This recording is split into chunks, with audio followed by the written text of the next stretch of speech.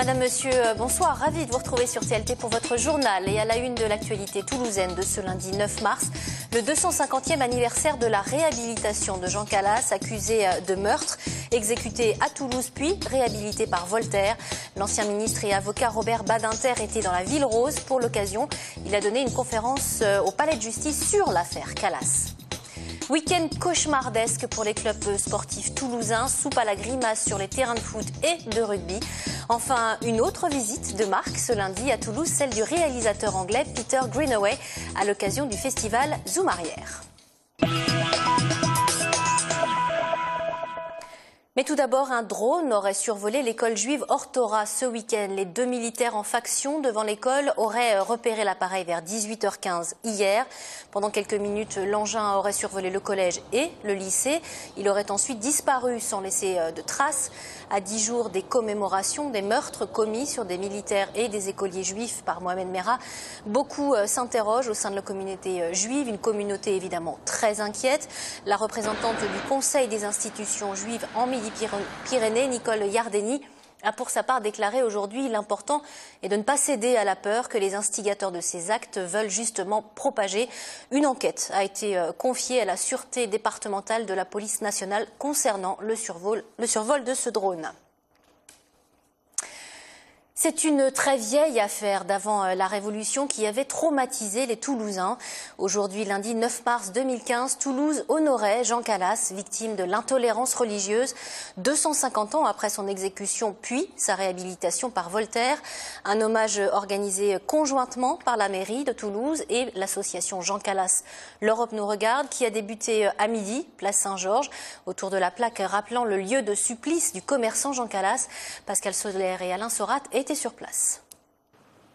Au 50 rue des Filatiers en 1761, Jean Calas, marchand protestant, retrouve l'un de ses enfants, Marc-Antoine, mort, pendu, dans la maison familiale. Immédiatement, Jean Calas est accusé de l'avoir assassiné par intégrisme protestant. La rumeur attribue le meurtre au père et à sa fureur contre un fils qui désirait se convertir au catholicisme. Le capitoul, chargé de l'enquête, le fait passer à la question. Sous la torture, le vieil homme avoue le crime avant de se rétracter. Il sera condamné à mort le 9 mars 1762 par le Parlement de Toulouse, brûlé sur la place Saint-Georges. Voltaire s'intéresse à l'affaire. Il alerte les grands du royaume et de l'étranger, constitue des dossiers et fait publier en 1763 le traité sur la tolérance.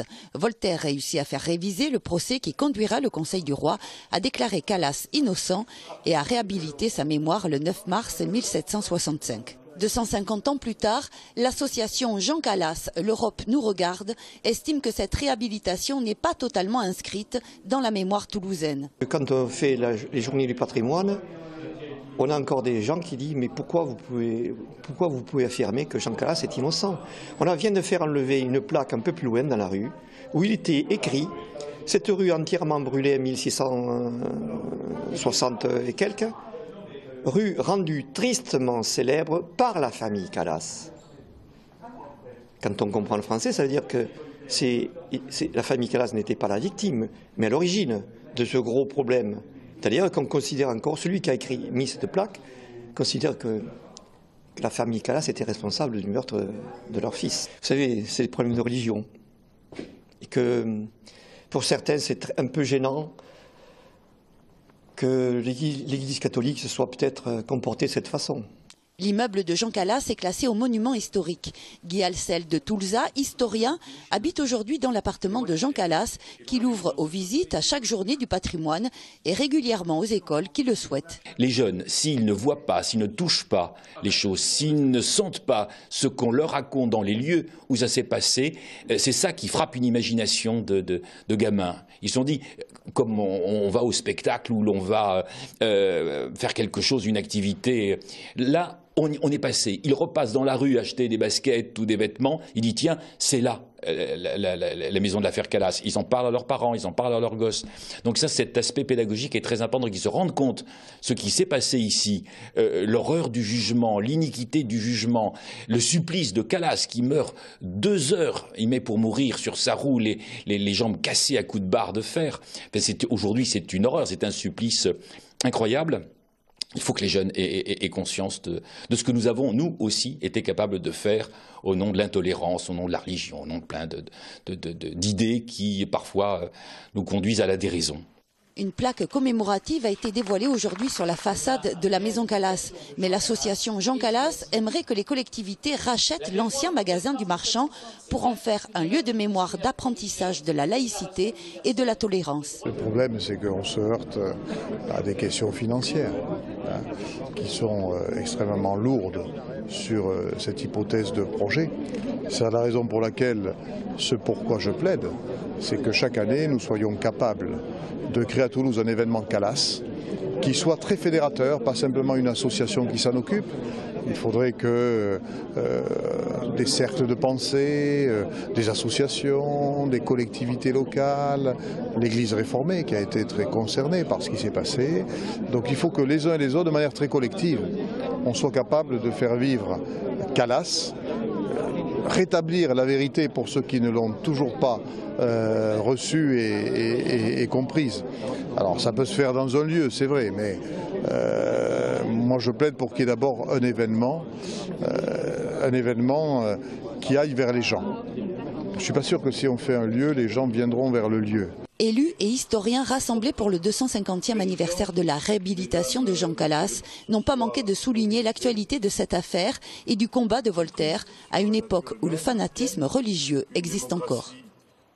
Voilà, et l'ancien ministre de la Justice Robert Badinter a clos cette journée d'hommage à Jean Calas à presque 87 ans. Le célèbre avocat essayiste, sénateur et ancien ministre à l'origine de l'abolition de la peine de mort en France en 81 a plaidé pour le 250e anniversaire de la réhabilitation de Jean Calas à la cour d'appel de Toulouse. C'était en fin d'après-midi.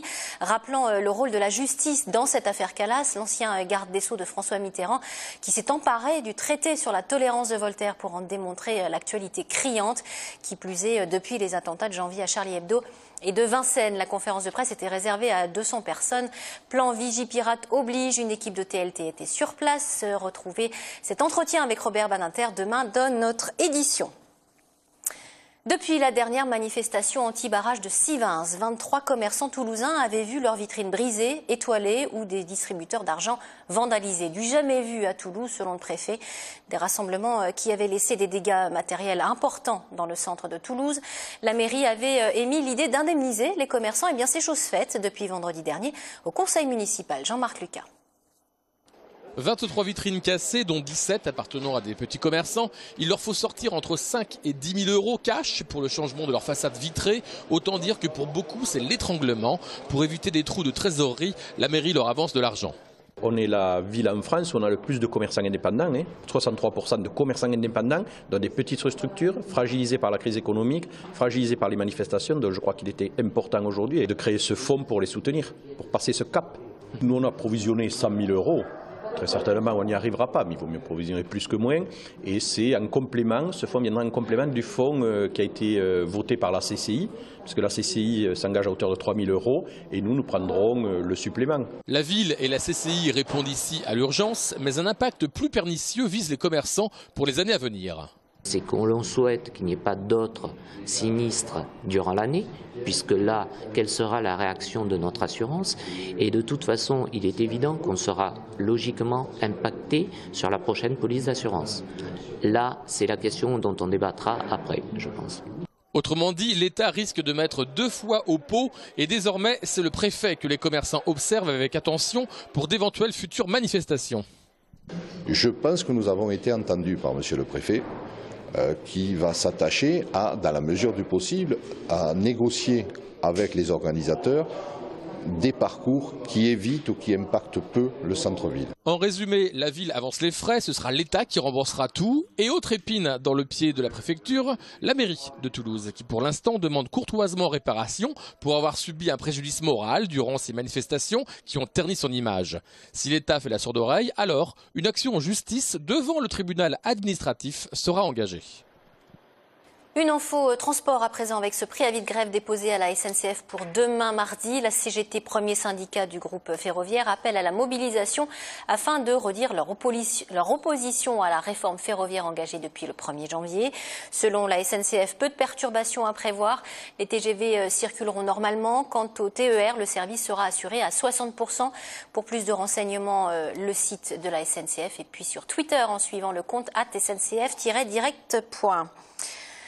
Où en sommes-nous du logement social en Haute-Garonne? La loi euh, Duflo, je vous le rappelle, impose à chaque commune d'atteindre un taux de 25% de logements sociaux sous peine de pénalité pour les réfractaires. Alors qu'est-ce qu'un logement social précisément? Combien de personnes sont aujourd'hui dans l'attente d'un logement social? Les communes de la Haute-Garonne respectent-elles la loi? Des éléments de réponse dans ce reportage de Jessie Perrier. 25%, c'est le taux de logements sociaux que les communes de plus de 3500 habitants doivent atteindre suite à la loi du flot ou loi SRU. Mais un logement social, qu'est-ce que c'est? Un lieu d'habitat autonome bénéficiant de fonds publics et ayant un loyer plafonné par arrêté. La Haute-Garonne est plutôt bonne élève en la matière et présente un bilan 2014 positif. En 2014, euh, euh, l'État, les collectivités ont financé environ 4500 logements sociaux. Et euh, cette construction, ce financement pour des logements qui sont en cours de construction, qui vont bientôt être livrés, vont permettre euh, de répondre à une demande de logement social qui est importante en Haute-Garonne. Donc euh, cette demande est estimée à à peu près 35 000 demandeurs. Rien que sur la ville de Toulouse, ce sont 13 000 personnes qui sont en attente de logement financés par le domaine public.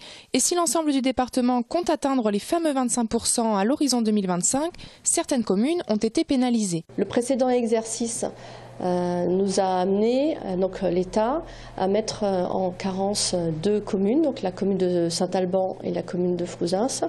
Alors non pas parce qu'elles ont des pourcentages faibles de logements sociaux, parce qu'elles sont autour de 11%, mais parce que les trois dernières années, elles n'ont pas eu une dynamique suffisante pour pouvoir produire du logement social. Des pénalités annuelles pouvant aller de 7 000 à 260 000 euros et des mesures d'incitation pour que ces communes reprennent une dynamique de production de logement social. Je vous le disais euh, en titre, euh, week-end véritablement cauchemardesque pour les clubs sportifs de la Ville Rose. Le TFC, victime de l'Olympique de Marseille au stadium vendredi soir, défaite naufrage, 6 buts à 1. Score fleuve dès la mi-temps puisque le club phocéen menait déjà 4 buts à 0. Seul Wissam Ben a réduit la marque en début de seconde période. Suite à leur 15e défaite de la saison, la situation des Violets est de plus en plus délicate au classement. Alain Casanova et ses joueurs sont en effet 18e et premier relégable de la Ligue avant euh, d'affronter euh, Lens samedi prochain. On écoute justement le coach toulousain, malgré tout toujours optimiste, à 10 journées de la fin de la saison au micro de Romain Chevalier. Prendre une telle claque à domicile, euh, ça fait mal, même quand vous êtes bien. Alors quand vous êtes un peu moins bien, comme c'est un peu notre cas ce soir, et dans notre position, ben, ben ça, peut laisser des séquelles. Ça sera dur jusqu'à la fin, ça sera dur. Moi j'y crois énormément, sinon, sinon je ne serais pas là. Mais euh, il faut, il faut qu'on se remette rapidement de cette claque et puis, puis qu'on reparte. Il reste 10 matchs. À nous d'aller chercher ce qu'il faut. Voilà. Il y a, il y a au moins 4, 4 voire 5, 5, victoires à aller chercher. Je, sais que l'équipe, elle en est capable. Euh, à nous de tout mettre en œuvre pour, pour le faire. Voilà, c'est ainsi que s'achève cette édition. Merci de l'avoir suivi. Excellente soirée sur TLT.